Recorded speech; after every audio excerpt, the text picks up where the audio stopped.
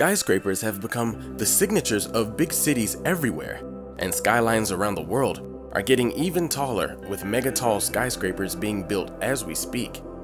London's skyline transformation plan for 2030 is about to change the city's look forever as over 119 new skyscrapers have been proposed.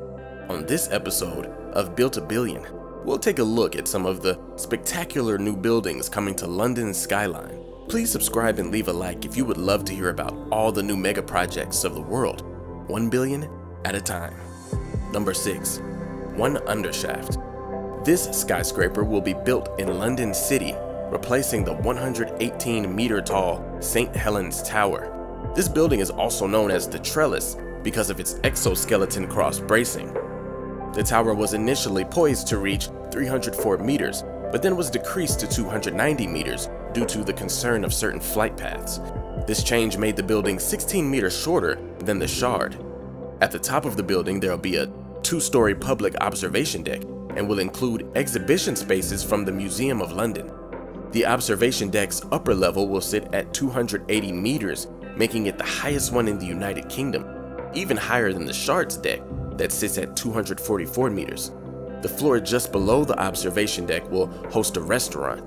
The tower is due for completion at some point this decade. Number 5. Tulip Tower Tulip Tower is a recently approved tulip-shaped glass observation tower 300 meters above the ground. When it's completed, the Tulip Tower will reign as the second tallest tower in Western Europe, second only to the Shard. The architect designed the building to look like the petals of a tulip, with rotating gondolas and internal lights providing beautiful views of the city. Sky bridges would run between the observation decks, and the tower would also have a bar and restaurant with 360 degree views. Not only this, but the social and cultural landmark will have educational resources for the children and house interactive guides to teach a curriculum based on the nation's history. At the base, there will also be a two-story entrance pavilion with a roof garden and the tower will be heated and cooled with zero combustion energy. The Tulip Tower is expected to open by 2025. Number 4. 100 Leadenhall Street the City of London Corporation gave the green light to build a skyscraper at 100 Leadenhall in London. Once completed, the building will reach 263 meters, making it the third tallest building in London. Nearby residential complexes will have to be demolished to create space for the 56-story building. The building will offer 102,000 square feet of office space, retail spaces on the ground, and a public viewing gallery on the top two floors. The first level of the gallery will provide a 360 panoramic view over London, with the top floor offering a view to the south, offering a capacity for 360 guests at a time. The construction will be completed by 2027 and has earned nicknames like the Cheese Grater or the Diamond for its appearance. Number 3. 18 Blackfriars Tower there are plans to build a skyscraper on the southern end of the Blackfriars Bridge. Previously, the site was already approved for a residential tower and an office tower, but a year ago, the site was bought by Hines and the National Pension Service of Korea. Foster and partners were then hired to revise the plans of the 18 Blackfriars site.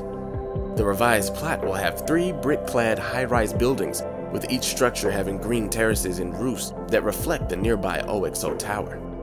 The tallest structure will be an office building with a height of 210 meters, and the second tallest will be a 160 meter tall residential building called the Stanford Building.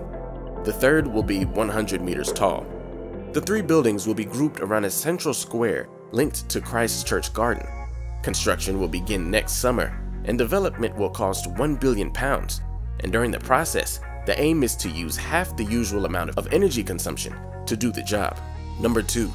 The Spire The Spire London will be built in West India Quay and will be the tallest residential tower in Western Europe.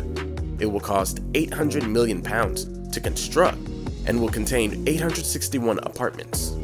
Originally, the building was to be named after the Hertsmere House, the name of the building that was demolished to construct it.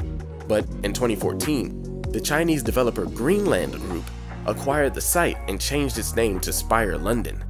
The top of the building is shaped like an orchid, a flower cultivated in China for thousands of years. Construction was supposed to be completed in 2021, but at this moment, the project has been stalled. Number 1. Infinity London London is planning the world's first 360 degree infinity pool. The Infinity London Tower will have 55 floors, with the upper floors housing an international five-star hotel. But the main attraction is a 600,000 liter pool with no visible edges for the swimmers. But how does one get in and out of a rooftop infinity pool? Will they have to be dropped in by helicopter? Will there be stairs on the outside? No. The designs include a submarine-like airlock staircase that rises up through the water. The design includes a transparent floor for visitors and a built-in wind speed meter to prevent water from hitting the streets below. The pool will also feature a heating system that catches hot gas from the building's air conditioners to heat the pool's water. The walls and bottom of the pool are made of cast acrylic instead of glass and include lights that sparkle at night. When it is built, the pool will be the world's first 360 degree infinity pool. What do you think about London's new upcoming skyscrapers? Let me know in the comments below. If you haven't already, please feel free to subscribe to the channel and leave a like. In the meantime, click a video on the screen to watch something you haven't seen, and thanks for visiting Built a Billion.